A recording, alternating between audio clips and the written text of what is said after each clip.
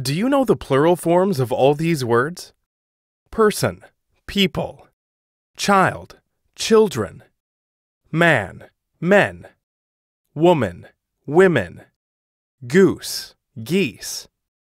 tooth, teeth, fish, fish, ox, oxen,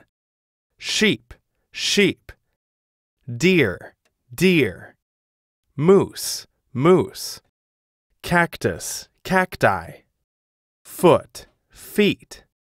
mouse, mice, aircraft, aircraft,